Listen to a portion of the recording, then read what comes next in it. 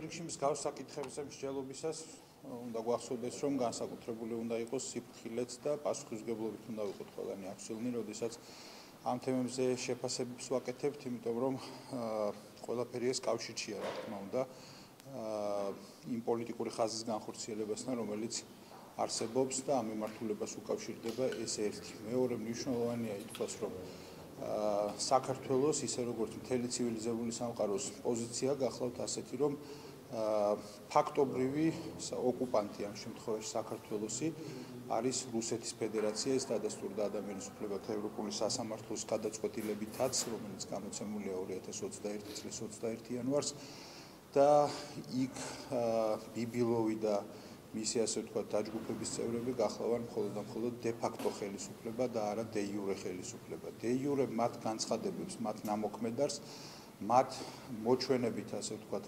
აქტებს და აქტიობებს ბუნებრივია რომ სამართლებრივი საერთაშორისო სამართლებრივი ან ზოგადად სამართლებრივი მნიშვნელობა ბუნებრივია არ აქვს. ეს აბსოლუტურად არ მქონია იურიდიული ძალისა და შესაბამისად ესეც არ უნდა გამოგჩეს მხედველობიდან. რაც შეეხება კონტექსტს ამ შემთხვევაში რუსეთის დაკავშირებას რუსეთის ფედერაციის კავშირებს ამ ტიპის განცხადებებთან ამ ტიპის აქტიობებთან და ასე შემდეგ ეს რასაკვირველია რომ არამც უბრალოდ უსიამოვნოა არამედ ეს არის ძალიან ცუდი მცდარი უსწორონაბიჯი იმ თვალსაზრისით რომ ეს არის გაგრძელება იმ არასწორი ხაზისა რომელიც დიდი ხნის წინ დაიწყო და გრძელდება ფაქტობრივი ოკუპაცია ფაქტობრივი ანექსია საქართველოს ტერიტორიების შესაბამისად ამას ბუნებრივია ვეწინააღმდეგები თუმცა ამ თვალსაზრისით ჩვენ არ შეიძლება რაიმე განსაკუთრებული მნიშვნელობა მივანიჭოთ სამართლებრივი მნიშვნელობა მივანიჭოთ იმ მოვლენებსა და იმ გადაწყვეტილებებს რომელსაც ახლა თვალს ვადევნებთ ცხინვალის რეგიონში. და ჩაგეკითხებით, ბევრია ეს არნესმის. და აქ ეს კარგია საქართველოს ბატონმა შეიძლება ბატონო აი ამ ვითარებაში განსაკუთრებით მნიშვნელოვანია საერთაშორისო პარტნიორების მხარდაჭერა და არა მხოლოდ სიტყვები მხარდაჭერა აი მაგალითად უკრაინის მსგავსად რა იმ მუშაობა თუ მიგისმენდა რომ აი ორმხრივი უსაფრთხოების გარანტიები მოიპოვოს ასევე საქართველოს აი ამაზე მსჯელობა თუ მიდის ამ მუშაობა ესე იგი ამ თემაზე მუშაობა მიდიოდა მიდის და წარიმართება მანამ ვიდრე არ მოხდება საქართველოს სრული დეოკუპაცია. ეს არის ძალიან მნიშვნელოვანი. ეს ერთი რაც შეიძლება ინტენსიური არის და უნდა იყოს ასეთი აქტივობა და შესაბამისად ბევრი რამ, რა თქმა უნდა, მხოლოდ ქართული ქართული მხარის ინიციატივებსა და სურვილებზე არ არის დამოკიდებული, რა თქმა უნდა, ამ მიმართულებით ერთი მნიშვნელოვანია, ცხადია, აქტიურია ხარდაჭერა, რომელსაც უცხადებს მთელი ცივილიზებული სამყარო საქართველოს სამიმართულებით და შესაბამისად რა კონკრეტულ შედეგებში შეიძლება ითარგმნებოდეს ეს მხარდაჭერა და სოლიდარობა, ამაზე უნდა ვისაუბროთ ბუნებრივია. კონკრეტულად ახლა ამის თქმა ზუსტად რა შეიძლება იყოს რეზულტატი ან უშუალო შედეგი და ან სანქცია მაგალითად უშუალოდ ასეთ მიღებულ გადაწყვეტილებებთან დაკავშირებით ამის თქმა ძალიან ძნელია, მაგრამ ერთი რამ შემიძლია ვთქვა, რომ კიდევ ერთხელ ვიმეორებ, სამართლებრივი თვალსაზრისით აბსოლუტურად იურიდიული ძალის არ მქონია ის აქტივობები, რომელიც ამჟამად მიმდინარეობს ცხინვალის რეგიონში. ჩაგეკითხებით ამასთან დაკავშირებით შეიძლება თუ გეჩქარება შენ კითხე. ბატონო მიხეილ კითხავთ თუ შეიძლება გაიზარდა თუ არა საფრთხეები ამ კუთხით რაც გაიზარდა საუბარი ამ საფრთხეთა სათან მიმართებაში და რეალურად გვაქვს თუ არა კონკრეტული გეგმა რომელიც მიხედვითაც ვიხელმძღვანელებთ ამ შემთხვევაში? გეგმა რასთან დაკავშირებით? აი საფრთხეებთან მიმართებაში ვხედავთ თუ არა ვანალიზებთ თუ არა ამ საფრთხეებს საფრთხეები მე ამის თქმა მინდა ზუსტად რომ მე არ მგონია რომ ჯერ ერთი პირველი სამართლებრივი თვალსაზრისით აბსოლუტურად არ მგონია რომ ამ შემთხვევაში რამე ძალის მქონე აქტივობასთან კონდეს საქმე და აქედან გამომდინარე ეს თავისთავად გავლენის მომხდენი უშუალოდ საფრთხეებთან ემართებაში არ იქნება. ფაქტობრივი მოცემულობაც არ მგონია რომ უშუალოდ ამ ტიპის გადაწყვეტილებებზე იყოს დამოკიდებული და დაკავშირებული.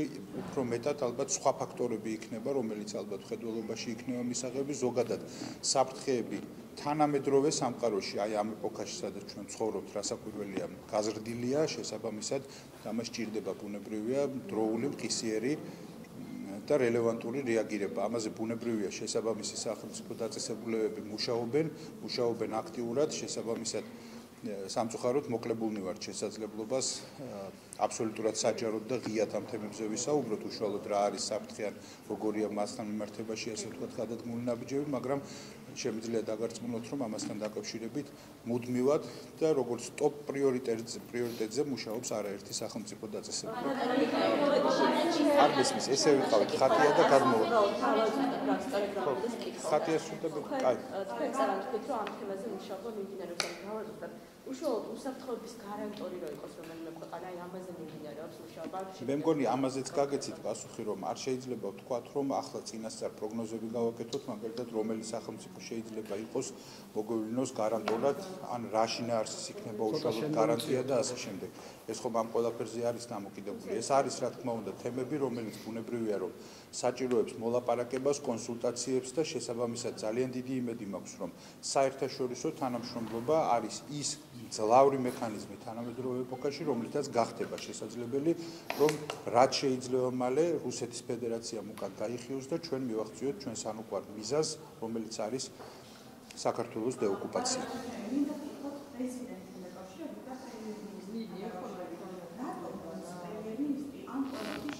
ვერ გავიგებ პოდიში რა? რასთან დაკავშირებით? ხო. თქვენ რა ვარაუდი გაქვთ რომ აი რა რა აი რას ეძებთ ამაში ვერ გავიგე. კაი.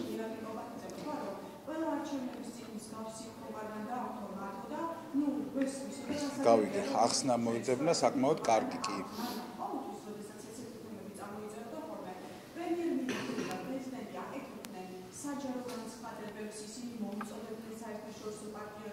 როგორი მსგავსი კალტო ხატე მოდი ესე ვთქვათ რა ყველა აქტიობას არა არა ბოდიშვიხტი არ შეიძლება არ არ შეიძლება ასე ნუ მონათლავთ ეს არ არის მე მგონია სწორი იმიტომ რომ სწორ წანამძღვრებს არ ეფუძნება ამ შემთხვევაში დასკვნა რომელსაც თქვენ ცდილობთ რომ წარმოსახოთ როგორც ნამდვილობა რა არიცით, როდესაც საუბარია კიდევ ერთ აი ამას ძალიან გთხოვთ მნიშვნელობა მიაქციოთ, ოღონდ არა როგორც სიტყვებს, არამედ ამ სიტყვების მიღმა შინაარსი. იურიდიული თვალსაზრისით აბსოლუტურად იურიდიული ძალის არ მქონია ის აქტივობები მეთქი რაც ხდება ახლა ცხინვალის რეგიონში. ამიტომ ეს უნდა იწოვდეს თუ არა ამ შემთხვევაში რაღაცა პოლიტიკური განცხადებების საჭიროებას და ასე შემდეგ, ამას მიაქციეთ უბრალოდ ყურადღება, როდესაც ამ თემაზე ვსაუბრობ და ამის მიხედვით გავაკეთოთ დასკვნები ძალიან გთხოვთ. შესაბამისად, წინა შემთხვევა თქვენ ბევრი გახსოვთ შემთხვევა, როდესაც ასეთ ასეთი გადაწყვეტილება ყველა არჩევნების წინ არა ასეთი გადაწყვეტილება რო ყოფილიყო ცხინვალის რეგიონის და დე-ფაქტო ხელისუფლების მიერ მიღებული ბევრი გახსოვთ ასეთი არ ყოფილა ხო? ამიტომ ნუ იტყვით ამ აი როგორ გეკადრებთ? აი ბოდიში. რა კარგით რა. არა რას ვერ მიიღებთ? რატო დუმანო და გიპასუხეთ?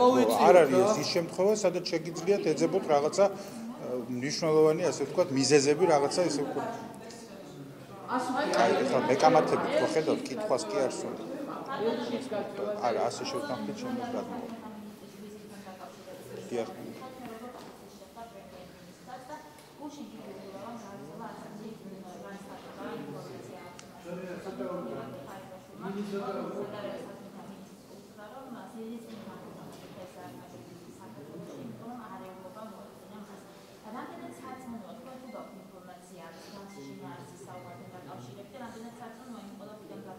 კაი, გავიგე. ესე იგი ორი, გავიგე, ორი, ორი სუვერენ სახელმწიფოს პირველი პირი ხდება ერთმანეთს და ამ საუბრის შინაარს ასაჯაროებს ბატონი უგულავა.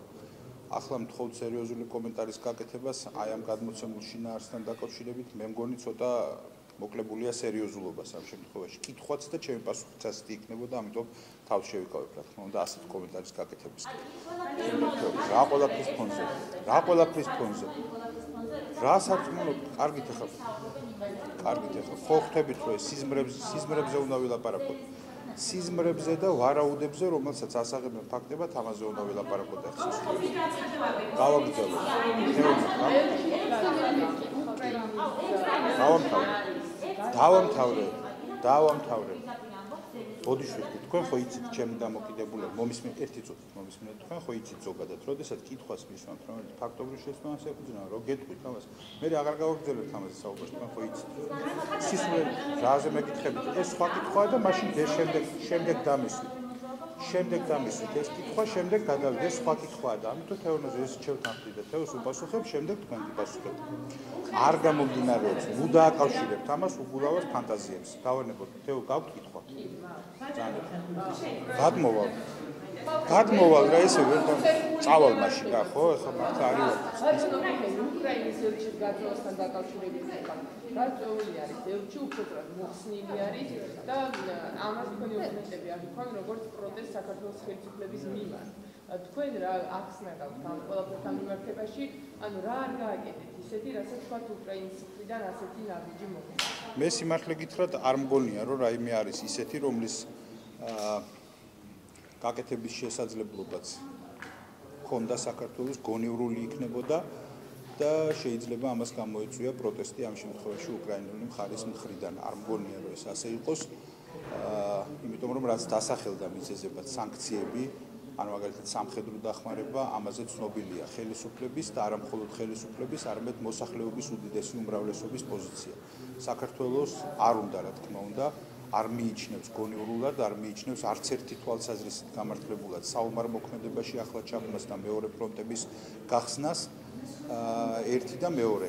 ჩვენ საუბედუროდ საქართველოს არ გვაქვს სპეციფიკიდან გამომდინარე, მასშტაბებიდან გამომდინარე და ბევრი სხვა ფაქტორის ხედველობაში მიღებით. არავითარი ისეთი ეკონომიკური მექანიზმი, რომლითაც შესაძლებელი იქნებოდა ზემოქმედება ასეთ მექანიზმის საიმისოდ, რომ რუსეთს უფრო მეტად განეცადა ასე ვთქვათ ზიანი ეკონომიკური, ვიდრე ეს იქნებოდა საქართველოსთვის ზიანი მომტანი, ზიანის მომტანი. აქედან გამომდინარე, არც ერთი თვალსაზრისით არ თვლი რომ კონიურული იქნებოდა ან სანქციების მიმართულებით დისკუსიის გაგრძელება, ან სამხედრო დახმარებასთან დაკავშირებით. ახლა რაც შეეხება საკითხს იმასთან დაკავშირებით, ასე ვთქვათ პრეტენზიის მიერ შეიძლება მართლაც კონდეს, არ ვიცი, უკრაინის ხელისუფლებაში ვინმეს მოლოდინი იმასთან დაკავშირებით, რომ საქართველოს ვალდებულია რაიმე ფორმით, რომ მეორე ფრონტი გახსნას. ამაზე ზოგი ღიად საუბრობს, ზოგი არ საუბრობს ღიად. მამის მიუხედავად კიდევ ერთხელ მეორე ფრონტი გაცხადებულია. გადაწყვეტილება ამ საკითხების ირგვლივ პოზიცია მკაფიოდ ცნობილია და ვფიქრობ, რომ ასე დროს დამოკიდებულება ამ გადაწყვეტილების მიმართ, ამ გადაწყვეტილებების მიმართ უნდა იყოს ადეკვატური. და ბოლოს მინდა ესეც აღნიშნო, რომ არ მგონია მიუხედავად იმისა, რომ აბსოლუტურად დაცლილია ამ შემთხვევაში ეს განცხადება რაიმე კრიტიკის ნიშნებისგან უკრაინის ხელისუფლების მიმართ, იმიტომ რომ ნამდვილად არ მაქვს ასეთი განწყობა, ბევრი ფაქტორის ხედულობაში მიღების, უნდა ვთქვა, რომ გარკვეული ლოგიკური კითხვები ამ გადაწყვეტილების მიმართ, რა თქმა უნდა, იგივე საქართველოსშიც და რამდენადაც ჩემთვის ცნობილია, უკრაინაშიც მოსახლეობაში დაისმის, რომ მაგალითად რატომ გახდა ადრესატი საყიდურებისა საქართველოს მაინდა-მაინც მაშინ, როდესაც იგივე უფრო მეტი შეიძლება სასაყვედურო სასაყვედურო ბრჭყალებში რა თქმა უნდა შეიძლება სხვა არაერთ სახელმწიფოსთან მიმართებაში კონდეს უკრაინულ მხარეს. სხვას რომ თავი დავანებოთ სანქციების გამოუყენებლობაზე ესაუბრებიან საქართველოს და საყვედურობენ მაშინ როდესაც რუსეთიდან ევროპაში მიმავალი გაზის უზარმაზარი მაგისტრალი რომლითაც პრაქტიკულად მთელი ევროპა მარაგდება ეს გადის უკრაინის ტერიტორიაზე დღემდე და უწყვეტად. მე არ ვამბობ იმას რომ ეს აუცილებლად უნდა შეწყდეს მაგრამ როდესაც საყდურებს ეუბნება სიფრთხილის გამოუჩენლობას თხოვენ საქართველოს და თვითონ ყველა სიფრთხილით იქცევა რა თქმა უნდა რომ ეს არ არის სამართლიანი მე მგონი მართა ერთი წუთით ესე შევთანხმდით და ესე გავიგე კი ბატონო რადგან ხალიჩებიდან გადმოვიდეთ მაგრამ აი ოპოზიციის წარმოადგენლები რომელსაც ჩვენ ვსაუბრობთ ვსაუბრობენ რომ ხდება მობილიზება და ნუ ასე შემდეგ ამ წინასწარ საკუთარ ალბათ ის ესეთი ნაწილი თქვენი ოპონენტების საპასუხოდ და თქვენთვის აი მართლობის ლიდერების განცხადებები გვახსოვს სადაც ამბობდნენ რომ გადამწყვეტებისა ეხლა გაგრძელოთ აი მაგალითად პატრონის არჩევნები რომ პარემროლისება მოიყოლოს საკრებულოში ქართულობით პარემროლ არჩევნებში ზოგადი და კი ეს მნიშვნელოვანი არჩევნებია ნამდვილად იმიტომ რომ მუნიციპალური მასშტაბით ეს ასე ვთქვათ გარკვეული გავლენის მქონე შეიძლება აღმოჩნდეს რეზულტატი რომელიც დაფიქსირდება ამ არჩევნებში ამიტომ ბუნებრივია ეს ინტერესსა და მნიშვნელობას ერთიორად ზრდის სტანდარტული შემთხვევისგან ეს არ არის უბრალოდ რაღაც დემონსტრირებისთვის რაღაცა სიძლიერისა და მხარდაჭერის, არამედ ეს უბრალოდ იქნება მნიშვნელოვანი გავლენის მოხდენა. აქედან გამომდინარე ინტერესიც მაღალია. რაც შეეხება ოპოზიციის წინასწარ გამოცხადებულ, ასე ვთქვათ, სამოქმედო გეგმას, რომელიც ახლა თქვენს ხო კარგად მოგეხსენებათ, მათ დამოკიდებულება არის ასეთი. როგორც არ უნდა იდეალურად ჩატარდეს არჩევნები, როგორ უხაროზითაც არ უნდა იყოს, ისინი მაინც მოტივირებულნი იქნებიან, რომ თქვან თუ გამოიმარჯვებენ თქვენ, თუმცა ამას მე ძალიან ისე ეჭვის თვალით შევხედავდი, თუ გამოიმარჯვებენ, თქვენ რომ ამ დარღვევების ფონზეც კი გამოიმარჯვებთ და თუ ვერ გამოიმარჯვებენ, დააბრალებენ წარუმატებლობას ამ დარღვევებს, რომელიც რეალურად არ არსებობს. და მე ასე მიდგება საქმე, რომ მე იტყვიან, რომ სავარაუდოდ რომ აი დარღვევები კი იყო, მაგრამ ან შესაბამისად ვერ დასაბუთდა, ან ვიღაცამ უსწორო გადაწყვეტილება მიიღო და ასე შემდეგ. მოკლედ, მთელი წება მანამდე გამოვლილი არჩევნებიდან გამომდინარე, ასე ვთქვათ, სტანდარტული მოქმედებების პროტოკოლისა ამ თვალსაზრისით ჭყალებში აიქნებათ მომზადებული, რომლითაც რა თქმა უნდა გააჩაღებენ რიტორიკას, მაგრამ მიუხედავად ამისა, ну, რა ვიცი, პროცესები ყველა შემთხვევაში წარიმართება ისე, როგორც ამას მოითხოვს ჩვენი ქვეყნის კანონმდებლობა, მაღალი სტანდარტით და შესაბამისად არჩევნების რეზულტატის მიხედვით გვექნება სრულფასოვანი შესაბამისი საჯარო დაწესება. ბათუმში გამარჯვებაში დარწმუნებულები ხართ, ბატონო მიხეილ? ესე შევთანხმდით, გადმოვალ შემდეგ თქვა. ეს თემა იყო პარე. ხო. ერთადერთი გუშინ ნახეთ კიდევ ერთი გატაცებული მოთავაზე ოკუპანტების მიერ თქვენს ბუნებრივი ადამიანის და აი პირველი შემთხვევა სამწუხარო და არ არის ეს კი.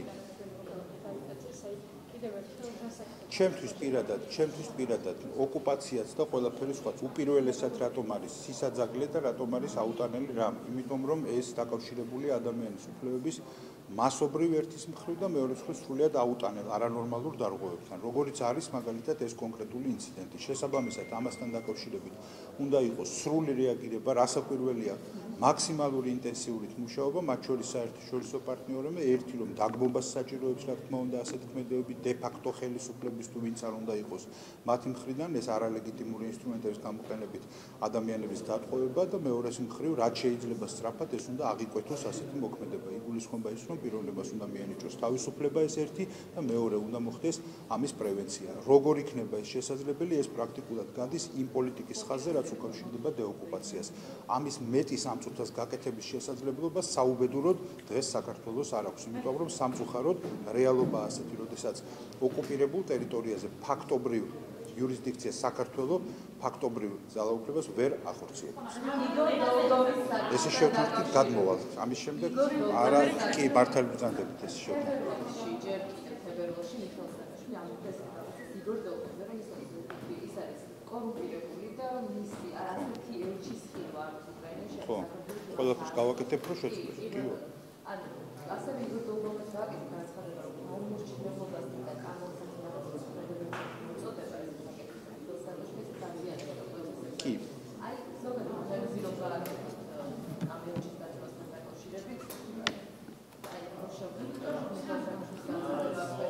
გავიგე მარტივად დგას აქ საკითხი. ეხლა ეს არ მგონია ვინმეს არ ახსოვდეს, იმიტომ რომ არც თუ ისე შორეულ წარსულში იყო. და არაერთი იყო განცხადება, რომელიც უკავშირდებოდა მათ შორის თვითონვე იხსენებდა იმავე განცხადებაში ბატონი სააკაშვილი, რომ ქონდა სულ მუდმივად ასე ვთქვა დაძაბული ცუდი და არც თუ კარგი ურთიერთობა რბილად რო ვთქვა უშუალოდ პერსონალურად ბატონ დოლგოთან. ე ამას ღიათ ამბობ. შესაბამისად ეს შეიძლება იყოს გავლენის მქონე რა თქმა უნდა თუნდაც იმ გადაწყვეტილებაზე რომელიც პრეზიდენტმა ზელენსკიმ მიიღო შეიძლება ამას ქონოდა ადგილი იმიტომ რომ როდესაც ხალხი რომელიც უმზადებს მათ შორის გადაწყვეტილებას და პოზიციებს ამ საკითხების ირგვლივ თუ ვინ უნდა იყოს კონკრეტულ სახელმწიფო შეელჩი შეიძლება ეს გავლენის მქონე ყოფილიყო მათ მიერ მომზადებული ინფორმაცია და აუდიო ასე შემდეგ. ქონდათ მოკლედ ასე ვთქვათ არც თუ სიმპათიით უყურებდნენ ერთმანეთს. მოკლედ ეს ორი ადამიანი. უპირველესად ეს წეოდა რა თქმა უნდა ბატონი სააკაშვილის თავ დასხმებით.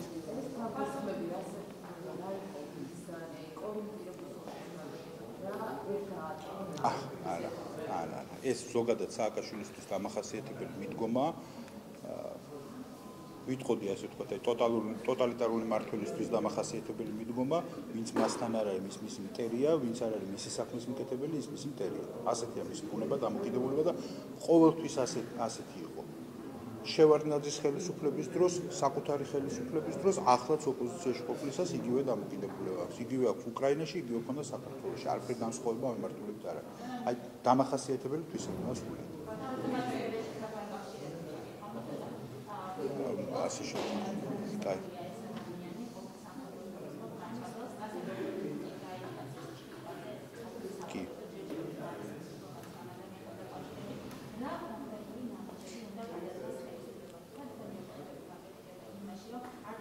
თქვენ ხო იცით არა ბოდიშ ვიხდიან არა არა ნახეთ რა კონკრეტულ ნაბიჯებს როდესაც კონკრეტულს კითხულობთ აქ იცით რა არის აი როდესაც საუბრობთ იმაზე რომ სრულიად არალეგიტიმურ მოქმედებებზე რომელსაც ახორციელებს ეს საოკუპაციო ხელისუფლება თუ არ ვიცი ვინც არის ჯგუფი ადამიანების რომლებიც რეალურად ფაქტობრივ კონტროლს ახორციელებენ ამ ტერიტორიაზე აქედან გამომდინარე ასე ვთქვათ სამართლებრივი მექანიზმების და გზების რაიმე კონკრეტული გაწერილი სამართლებრივი პროცედურები და ასე შემდეგ უბრალოდ არ არსებობს.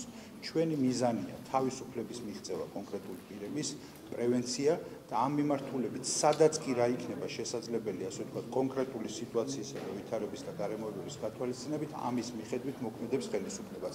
სხვა ინსტრუმენტი უბრალოდ ობიექტურად არ არსებობს და არამც და არამც არ შეიძლება ხელისუფლების რაიმე ფორმით კრიტიკა რომელიმე საჯარო დაწესებულების რაიმე კრიტიკა იმის გამო თუ კონკრეტულ ნაბიჯთან დაკავშირებით რომელიც შეიძლება ქმედითი აღმოჩნდეს გასათავისუფლებლად კონკრეტული პირისა უბრალოდ არ არსებობს. იმიტომ რომ არ არსებობს. ეს არის ზუსტად ტრაგედია ჩვენი ქვეყნის დღეს და ეს არ შეიძლება დაუბრალოთ რომელიმე ქართულ ხელისუფლებას ბუნებრივია. ამ შემთხვევაში გულისხმობა ის რომ ოკუპირებული აქვს რუსეთის ფედერაციას ჩვენი ქვეყნის ნაწილი რომელზეც ახორციელებს ფაქტობრივ კონტროლს მექანიზმებში იგულისხმება ბევრი რამ მათ შორის ის მექანიზმები ყველა რომელიც ამ დრომდე აღმოჩნდა რომ ბევრ შემთხვევაში იყო ქმედითი. ზოგიერთ შემთხვევაში სამწუხაროდ ისიც ვერ აღმოჩნდა ქმედითი. მე თუ მკითხავთ, საერთოდ ვერც პრევენცია სადაც ვერ მოხდა, სამწუხაროდ ვერსად ვერ აღმოჩნდა ქმედითი შეიძლება ასე თქვა. იმიტომ რომ ვიღაცა გაიტაცეს და გარკვეული პერიოდის განმავლობაში შეზღუდული ქონდა თავისუფლება, უხეშად დაირღვა მისი ფუნდამენტური უფლება. ეს ბუნებრივია, რომ ეს ნიშნავს ჩავარდნას, მაგრამ კიდევ ერთხელ ვიმეორებ, ამ უფლების დარღვევაში ბრალეული გახლავთ ის მხარე, რომელიც გაამტყუნა რეალურად სტრასბურგის სასამართლომ 2021 21 წლის 21 იანვრის გადაწყვეტილება.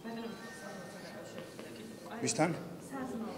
საზმაო. კოალიცია მედის ადვოკატებს მიჩნევს, რომ დაუშვებელი ტელეკომპანიების თანამშრომლების წარმომადგენლები კომისიაში რომ იყვნენ. აა თქვენ ან როგორც საკანონმდებლო დონეზე დადგენილი რატომ მიჩნევენ? აი გეტყვით ხოლმე საკანონმდებლო დონეზე დადგენილი კრიტერიუმის მიხედვით პარლამენტმა არაცხად გამოვიდა დისკრეციაო და არ გაითვალისწინა კომისიაში შემოგენობაში პლურალიზმის მაღალი საჭირო. თქვენი პოზიცია და თქვენი კანონი. არა, იმედთანაც საკავშირში იმედის წარმომადგენლები იყოს არის კომისიაში იქნებიან იმედის პლურალიზმი და იმედის წარმომადგენლები შეერთებადის ინტერესები. თქვენი პოზიცია კაი. არა, არ მესმის საყვედური რაშია უბრალოდ და როგორ გითხრათ. მართლა ვერ მივხვდი იმედის ხომ არა ეს საზოგადოებრივი მაუწყებელია. რატო აქვს ეს მნიშვნელობა მას? ინტერესთა კონფლიქტი რა შეიძლება მდგომარეობის? კი ბატონო, ანუ ხო, ამათ ასე მიაჩნიათ თქვენ რომ გასაგებია. არა. ამასთან დაკავშირებით ასე თქვენ კანდიდატები იქნება. ხო, მაგრამ საკანონმდებლოში ეს საკანონმდებლო დონეზე შეზღუდული არ არის, ამიტომ კითხვა შევდას, რომ საკანონმდებლო შეზღუდვის მიუხედავად არ არის შეზღუდული. არც ერთ ფორმით ლოგიკა ამაში არის და არ მგონია რომ ამ შემთხვევაში არ შეიძლება საერთოდ საზოგადოებრივი მაუწყებელი და რომელიმე კერძო ტელეკომპანია განიხილოთ ეს უკვე პირდაპირ კონკურენტებად. ეს ასე არ არის იმიტომ რომ სპეციფიკა აქვს საზოგადოებრივ მაუწყებელს მაგალითად არც ერთ კერძო მაუწყებელს არ ევალება მაგალითად არის სოფლის მეურნეობის მმართველობის კონდეს გადაცემები ეს ასია შესაბამისად ეს თვისობრივად განასხვავებს ვითარებას ამიტომ ეს პირდაპირ კონკურენტად ნუ აღიქვამთ ამას შეიძლება იყოს გარკვეულ სეგმენტებში სექტორებში კონკურენტები მაგრამ ეს არ ნიშნავს იმას რომ უდაოდ კონკურენტები არიან. აქედან გამომდინარე მე აქ ვერ ხედავ რა თქმა უნდა ინტერესთა კონფლიქტის თვალსაზრისით რაიმე შეუსაბამოს რაც შეეხება პლურალიზმის იმას ახლა არ ვიცი უბრალოდ აი ვის მოიაზრებდნენ ან რა კონფიგურაციით მოიაზრებდნენ? ხა საკუთარი პოლიტიკური გემოვნების მიხედვით დაკომპლექტება თუ იყო მიზანი და მხოლოდ ამ შემთხვევაში ჩათვლიდან ისინი პლურალისტულად? ამას მე ვერ დავეთანხმები და ისე სხვა მხრივ რა დაეწუნება ამ კონკრეტულ გადაწყვეტილებას? თუ მეტყვი შემიძლია პასუხი გაგცე ბატონო ვერ არ ვიცი არ ვთქვი ინფორმაცია კი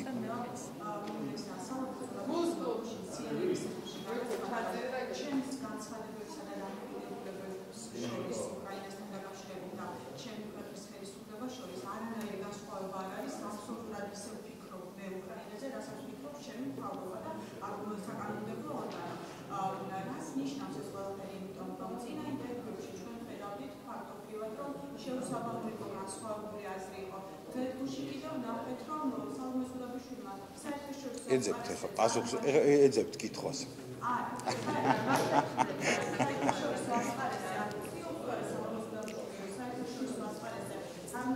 ქვეყანა ქვეყანაში არის კონსოლიდაცია და ერთიანობა უკრაინასთან დაკავშირებით, ხოლო ქვეყნის შიგნით მაინც დაუფარავი არის ეს დაპირისპირება და ახლა სხვადასხვაობა. რა უცნაურების მიაგენით ახლა ნახეთ. არა, არა, არა მგონია, არა, არა, არა. არა, ქალბატონ ხატი, უნდა გიპასუხოთ ამას. უნდა გიპასუხოთ მე რამისთვის მომდევნო კითხვა. კაი. მე მგონია რომ ამ შემთხვევაში აბსოლუტურად მცდარ ინტერპრეტაციებს, აი ლოგიკურად შეუსაბამო, ურთიერთშეუსაბამო დასკვნები გამოგაქვთ ამ შემთხვევაში ამ ფაქტობრივი მოცემულობიდან. ძალიან მარტივია მდგომარეობა. რეალურად ის, რასაც ამბობს პრეზიდენტი, ის, რასაც ამბობს მთავრობა, ის, რასაც ამბობს ყველა მეუკერძოებელი ექსპერტი და საერთაშორისო დონეზე ეს ასეც აღიქმება, რომ რეალურად საქართველოს ხელისუფლება მთლიანად აბსოლუტურად კონსოლიდირებულია აზრში იმასთან დაკავშირებით, რაც ხდება უკრაინაში. შესაბამისად არ მგონია ამასთან დაკავშირებით რაიმე სხვა გადასკვნის მიზეზი არსებობდეს და ამიტომ როდესაც თქვენ ცდილობთ რომ ეს წარმოაჩინოთ რომ საგარეო ფრონტზე ფაქტები სხვანაირად წარმოჩენა და ქვეყნის შიგნით სხვანაირად ეს მე მგონი რომ უბრალოდ შეცდომა უბრალოდ შეცდომა კიდევ ერთხელ ვიმეორებ არც ერთი განცხადება, არც ერთი შეფასება, არც ერთი სტატუსი მინიჭებული ბუნებრივია რომ არ არის შეუთანხმებლობაში ან დისონანსში ერთმანეთთან, რომელიც ეკუთვნის პრეზიდენტს, რომელიც ეკუთვნის მთავრობას. ყველანი ბუნებრივია მთელი ქვეყანა ერი და ბერი ვართ სოლიდარული უკრაინის მიმართ შეფასებები სამართლებრივი პოლიტიკური არის აბსოლუტურად იდენტური.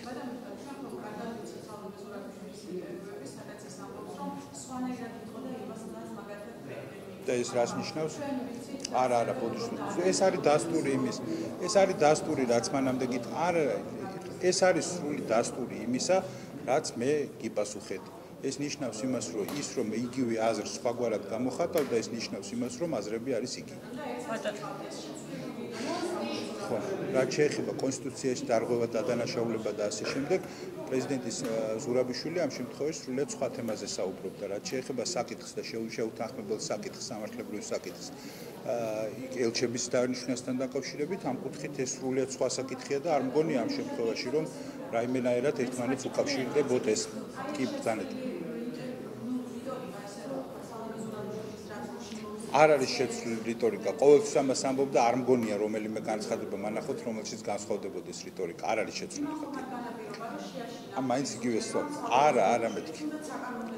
ხათი რო გეტყვით, რომ შეცვლილი რიტორიკა არ არსებობს, მე მეკითხებით მიზეს შეცვლილი რიტორიკოს და აბა რა გიპასუხოთ ხარ, როდესაც გეუბნებით, რომ შეცვლილი რიტორიკა არ არსებობს.